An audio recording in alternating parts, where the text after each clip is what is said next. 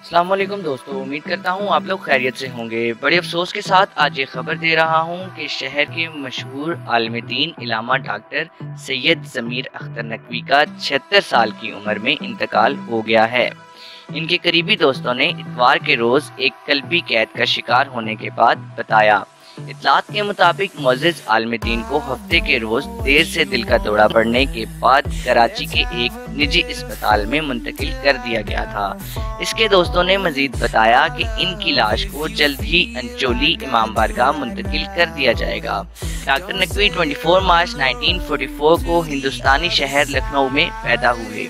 ये खतीब और शायर भी थे। इन्होंने दर्जनों किताबें लिखी, जिनमें शायरी और हँसी शामिल है। नीस कासिम बिन हसन पर दो जिल्दों की स्वान हयात भी लिखी है। इनकी किताब मेराज खिताबत पाँच जिल्दों पर मुश्तमिल है। ये स्कॉलर पूरे पाकिस्तान और दुनिया में साइंस, तारीख और फलसफा के लेक्चर के लिए भी जाना जाता है। इनकी मकबूलियत न सिर्फ़ इनके इल्म और महारत पर मबनी थी, बल्कि अपने पैरोकारों के लिए इनकी मोहब्बत पर भी मबनी थी। इनके तर्जमान ने बताया कि गवर्नर सिंध इमरान इसमाइल ने मशहूर स्कॉलर के इंतकाल पर दुख का इजहार भी किया है। इन्होंने मजीद कहा है कि इन्होंने डॉक्टर नकवी की मगफरत और दर्जात की बुलंदी की दुआ की है। खुदा इनके सोगवारान खानदान को सब्र जमील अदा करें। इस वीडियो को देखने का बहुत बहुत शुक्रिया। अगर आपको ये वीडियो पसंद आई है तो इस वीडियो को लाइक कर दें और हमारे चैनल को सब्सक्राइब कर दें। शुक्रिया।